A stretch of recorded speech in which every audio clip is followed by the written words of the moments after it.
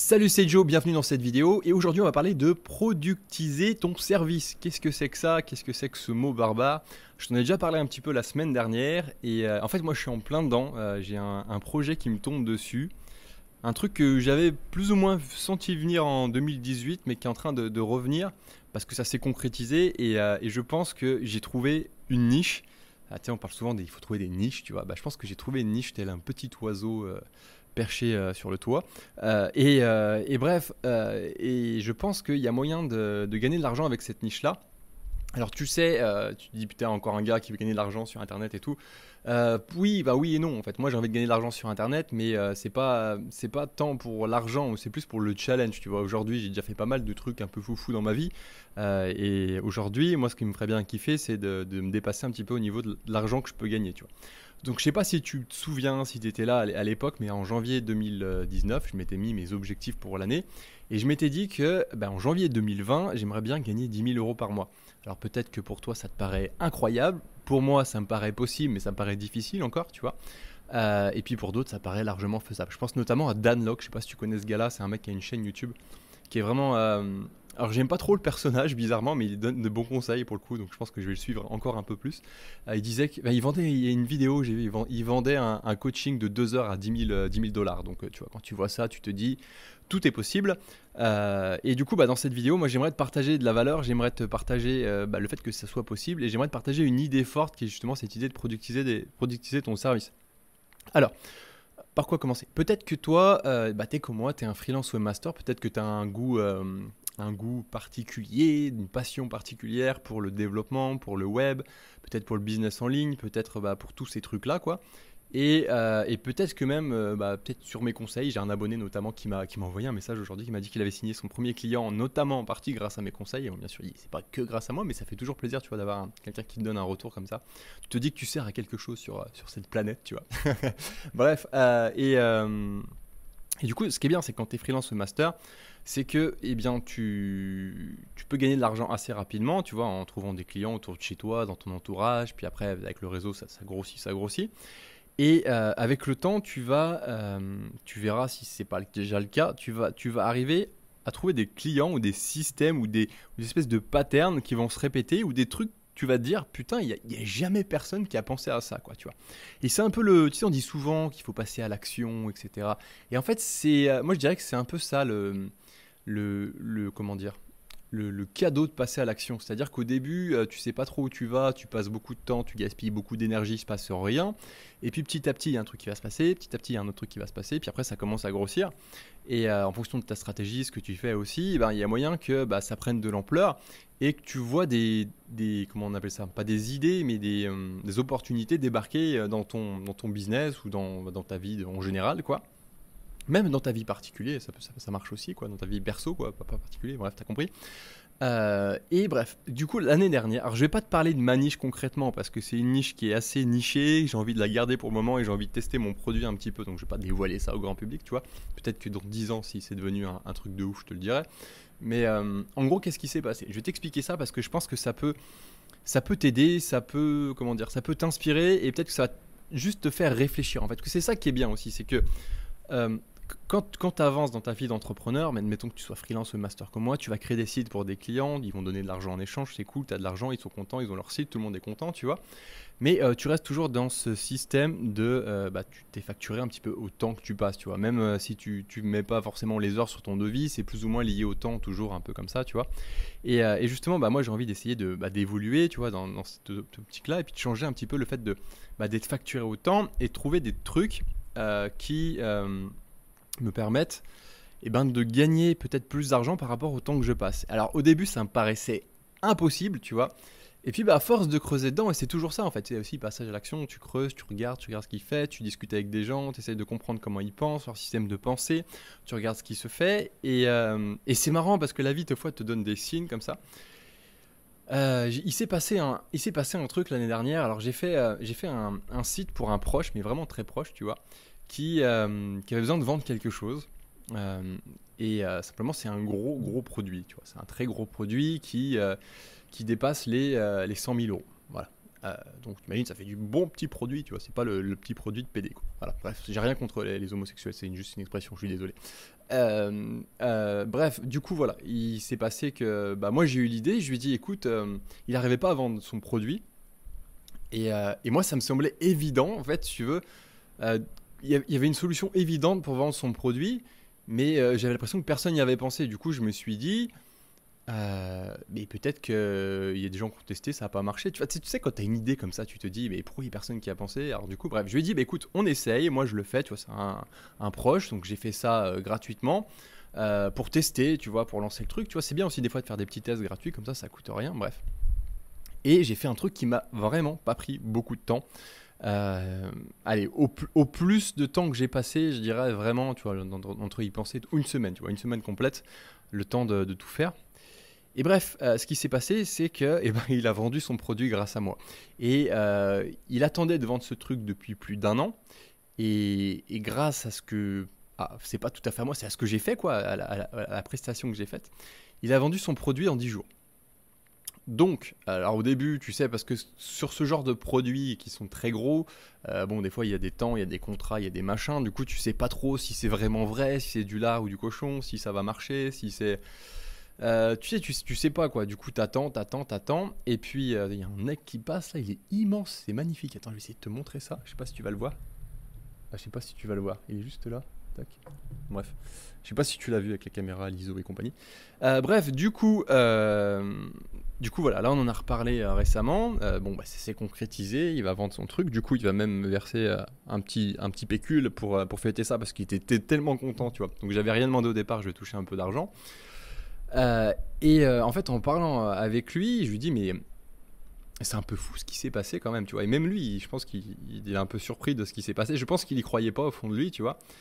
Et, on en est, on arrivait à réfléchir. Il disait, est-ce que tu crois pas qu'on pourrait dupliquer ça, tu vois? Il me dit, bah si, je pense. Alors du coup, je commençais à réfléchir à des systèmes, tu vois, pour, pour financer le truc, parce que bah, jusqu'à aujourd'hui, j'avais pas pensé à ça. Et tu vois, c'est marrant des fois, parce que il y a des projets comme ça, et c'est une leçon aussi euh, que tu peux peut-être en tirer, j'en sais rien, tu vois, c'est une expérience. Après, c'est à toi de, faire ta, propre réflexion et d'y penser, tu vois, c'est un peu l'idée de ce podcast, c'est des, des, idées. Après, à toi de les, retravailler. Moi, je suis pas non plus la science infuse, hein. loin de là. Mais euh, des fois, il se passe des trucs, et toi, en fait, si tu as un peu un cerveau d'analyse et que tu baignes un peu dans, ce monde-là, dans, ce truc-là, tu vas avoir une idée qui va peut-être euh, peut-être se créer. Et tu vois, dans cette idée, après, il faut vite la tester. Bref, du coup, j'en suis arrivé euh, à l'idée, quoi À l'idée, c'est que je vais productiser ce truc-là. C'est-à-dire que je l'ai fait une fois. Je vais créer un produit. Alors typiquement, je vais créer un site web, un nouveau site web, je pense. Je suis en train de réfléchir. Là, je me suis fait un, brainstorming avec moi-même, tu vois. Je vais créer un, site. donc ça, c'est facile, je sais faire. Et puis j'adore créer des sites pour moi, tu vois. Autant des fois, ça, entre nous, tu vois, des fois, ça, m'ennuie un peu de, quand je dois travailler pour un client, tu quand il y a beaucoup d'allers-retours, alors que le client est pas motivé, qu'il donne pas les contenus, tu vois, c'est un peu chiant ce genre de truc. Mais quand c'est pour toi, bah bon, bah, il y a que toi qui, ça dépend que de toi, donc tu avances, tu vois. Donc je vais créer un site, mais un truc très simple en mode MVP, tu sais, minimum viable product, c'est euh, des trucs des startups, tu sais, quand tu crées une startup, tu crées d'abord un produit, un, attends, je vais le faire en français, un produit minimum viable. Euh, qui est en gros une version très très simplifiée de ton produit que tu mets rapidement sur le marché pour voir si bah, le marché va l'accepter ou pas. Du coup, bah, je vais faire ça. Euh, je vais créer ce minimum viable product. Donc, je vais, en fait, je vais le service que j'ai fait, euh, pour donner l'exemple du productiser un service, le service que j'ai fait l'année dernière, eh je, vais, je vais le transformer sous un format de package de produits. Donc, je vais faire une page web en précisant en gros qu'est-ce que je vais faire. Je vais partir de euh, une promesse, c'est-à-dire qu'est-ce que je fais. Donc, euh, bah, je, je, vous aide à vendre ce produit. Euh, et je vais partir de, bah, de qu'est-ce qui se passe sur le marché. Il y a une douleur sur le marché. la douleur, c'était que, bah, par exemple, voilà, ça fait un an ou deux ans que vous n'arrivez pas à vendre ce produit-là. moi, j'ai trouvé une solution qui vous permet de, de le vendre beaucoup plus rapidement. Et cette solution, voilà, elle fait tel prix, ça se passe comme ça, il y a telle méthodologie, on fait ça, ça, ça. Euh, et on peut commencer dès maintenant. Il suffit que vous cliquiez sur le bouton. Et puis derrière, je vais faire un petit formulaire. Donc, euh, formulaire où je vais. Euh, alors, je pense que même dans la première version, je vais juste faire un formulaire avec les informations dont j'ai besoin, avec un email. La personne va me contacter et je vais voir. Tu vois, je vais m'arrêter là. Ce sera la première version de mon MVP. Ensuite, si ça, ça fonctionne. Alors ce qui est cool, c'est que du coup j'ai déjà l'expérience, donc je sais où je peux aller démarcher, parce que c'est très très très très niché, mais t'as pas idée comment c'est niché le truc. Je pensais même pas que c'était possible de faire un truc comme ça, mais tu vois c'est ça qui est beau, c'est que plus tu baignes dans le truc, plus peut-être des opportunités qui, peut-être des trucs que tu n'avais pas vu qui étaient en face de toi, et ben tu les vois au fur et à mesure. Donc hésite pas à toujours passer à l'action, à toujours essayer de gratter un petit peu, même si des fois tu as l'impression que ça sert à rien. En fait, au bout d'un moment, ça.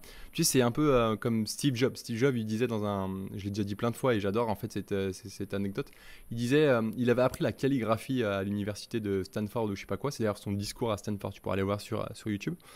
Et, à un moment, il disait, il disait bah, Je sais pas du tout pourquoi j'avais appris la calligraphie, j'aimais bien ça, mais je ne voyais pas du tout à quoi ça allait me servir. Et puis, ben, quand il a créé le Mac, et eh ben, c'était le premier ordinateur où il y avait des polices sur Mac. Tu vois. Et là, il s'est dit Ah ouais, voilà, bah, voilà pourquoi j'ai appris la calligraphie. Donc, bref, tout ce que tu peux apprendre dans ta vie peut te servir à un moment donné ou à un autre, et tu peux bah, relier tous les points pour, euh, et bah, pour faire euh, une belle écriture ou faire un beau produit ou faire un beau service. Bref, du coup, euh, tout ça, tu vois, tout ça mélangé, et eh bien, là, les prochaines semaines, je vais réfléchir à ça. Alors, je pars en voyage bientôt. Je te, je te ferai peut-être des vidéos, j'en sais rien. On part dans un autre pays en Amérique du Sud, je te montrerai ça. Mais euh, du coup, du coup l'idée, ça va être quoi? Ça va être de, bah de, voilà, de créer ce produit minimum viable. Ce qui est bien, c'est que j'ai un plus ou moins un commercial du coup qui, qui est avec moi. C'est la personne que j'ai déjà aidé une fois qui est intéressée. Et, euh, et, on, et, on, va faire ça. On va voir ce que ça va donner. Euh, l'idée, c'est que bah, c'est que c'est facile à vendre parce que c'est un produit très concret, très, tu vois, très, très facile à, mettre en place.